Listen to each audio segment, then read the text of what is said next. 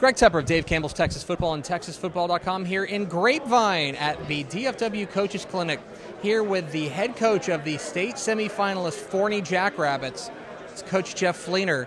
Uh, do you get just do you, do you act, request people introduce you exclusively as head coach of the state semifinalist Forney Jackrabbits now these days? No, not at all, man. You know, you know how it is. You have a great season and it's a lot of fun and it's. Uh, but at this point now, it's like, uh, are, are, you going to do it again? You know, especially going moving to six A. So it, will be a fun. Uh, you know, now that some time has passed, you know, the, the eight nine weeks since since the, the season ended. I'm curious if you can kind of identify what it was about last year's team that really made them special that suddenly you know you guys are able to run off it obviously some outstanding talent we can talk about but but can you identify after the fact what it was that made that team really special well, I mean, it, it, always comes down to the football players, and, and obviously we had some great football players, but uh, you know we we had that little extra push where when you, when you put great players in a situation where they know how to win, they're experienced. We're the most experienced team I've ever been around. We had eight to nine uh, three or four year starters. You know that helps a ton. But uh, having a town like we have in Forney that had been great before, especially when they were small, and remember what that was like. That were just thirsting to do it again, and to to put a team out there, and then know that week in and week out, even when we got to the playoffs, we're going to have, you know, six, seven, eight, ten thousand fans show up to the game. Uh, you, you, you can't beat that. You know, I think it's really interesting as somebody who's followed your career pretty closely that you're a, uh, such a good coach when you've got Kyler Murray at quarterback or Javian Osborne at running back. Have you noticed that? Uh, it's funny, you know, as I'm really good at making sure they get on the bus.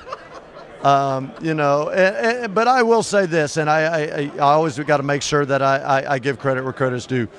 All of those teams uh, in the Kyler Murray years, and then again this year, amazing defenses um, and and something that we pride ourselves on and uh, put a lot of effort into. And uh, you know they they don't always get all the credit. Uh, and you know when you've got some elite offensive guys, but man, amazing defense this year that that helped us. But uh, but yeah, it's always good when you got a uh, a running back like that. Because it, it, strikes me, I'm glad you brought that up because for all the all the, the playmakers you've gotten, it's fun to watch your offenses go. But at the critical moments, your defense stood on its head and came up for those for those big plays. And there's a real argument that you, if you just parachuted in and watched this team, you'd be like, oh yeah, that's a that's a defense first team. A couple of nice offensive pieces, but that defense is what's really kind of put you know straw stirs the drink. Oh, there's no doubt. I mean, people people forget a little bit about the defense. You, know, you have Aaron Flowers out there who's already at Oregon and uh, killed at the uh, Army All American uh, uh, practices and games, and then uh, you know, an elite D line and, and, things like that. A bunch of guys that we're going to have that are going to get to uh, have a chance to go play at the next level. And then we've got more coming back, and uh, you know that that's the whole thing. Is as great as the offensive players that we can put on the field and do some things. Uh, defense defense still wins games. Defense still wins championships, and uh, even as an offensive guy, I've, I've, I've had to bring myself to admit that. Uh, so now next year we'll pose a, new challenge. Here in about a week, we're going to find out uh, your your realignment fate. You guys are moving up uh, to Class Six A.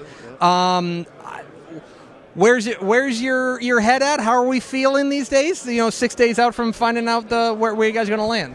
Well, you know, the best part about it is is you know I, I try to explain to people my three years at Forney are the only three years I haven't been 6A. So uh, I have had a lot of experience with that. Um, the other thing is I try to remind everybody is we played Longview, Lancaster twice, Port Arthur Memorial, Frisco Lone Star, and Aledo, all of which were in the top eight preseason state rankings of a very elite magazine, Dave Campbell's Texas Football.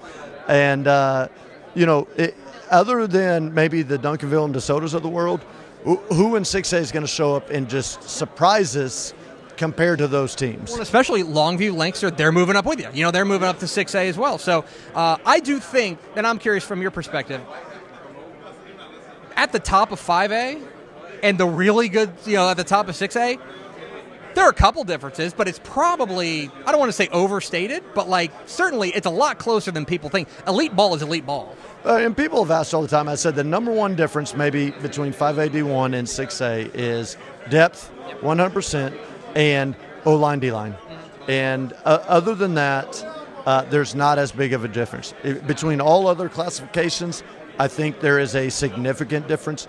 But between 6A and 5A D1, not so much. And I remember, you know, even those battles when I was the, the offense coordinator in Allen, we played Longview four years in a row as a non-district team because we couldn't find anybody else that would play us. And yes, they were 5A, but battles. Yeah, they'd make that they'd match up with you up front too. Oh, absolutely. And uh, I, I, I, still to this day when uh, when I saw uh, King and Longview were up in 6A, first call immediately to him. You sorry SOB. You told me you were not coming up. You told me we were done. And uh, he said, Well, I thought we were too. And I said, Well, yeah, how could you not get those 10 kids kicked out of school? You know, a few years ago, somebody uh, said that they, they didn't want to interview you because you were one and nine uh, there at, at, at Mesquite. Uh, is this a is this better? What, what, you're doing these days? Oh, it's absolutely better, man. And uh, you know, just what a fun uh, fun deal to uh, to have the relationship we have with you guys, with you, with Step, uh, with uh, with Ashley, Mallory. You know, everybody that's come together. You know, as much as we want to give each other some some crap every now and then. Am I allowed to say crap on here? you know, as much as we want to give it to each other, what y'all do for Texas high school football, unmatched, unmatched, and we appreciate it. Coach, appreciate you, my friend. Thank you.